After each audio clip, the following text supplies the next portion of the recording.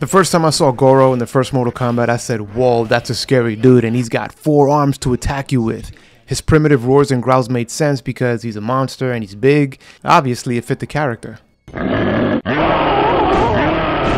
Then the shitty ass 1995 movie comes out and they decide to overdo his voice. And boy, oh boy, does he sound stupid.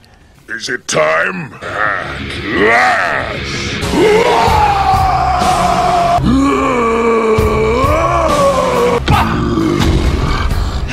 Mrs. Robinson, you're trying to seduce me. Rah, rah, rah, rah. Yeah, yeah, okay. Anyway, you was better off giving this guy no lines at all. I'm just saying, just because the monster's big doesn't mean he has to sound like a fing Neanderthal. Take Beast from the Marvel Universe or Bane from the Batman comics. Both really big guys, but also very intelligent.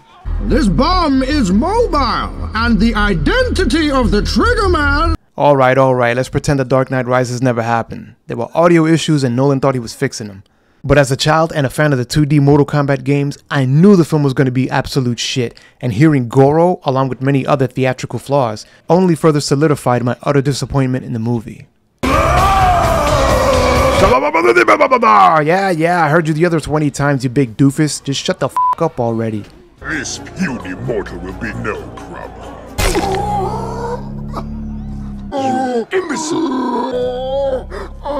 Your voice sounds stupid!